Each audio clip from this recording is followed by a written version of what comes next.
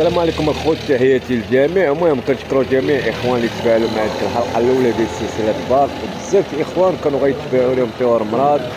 المهم الحلقه ديال الغدا ان شاء الله غتردروها واللي طاح راه غيتقلى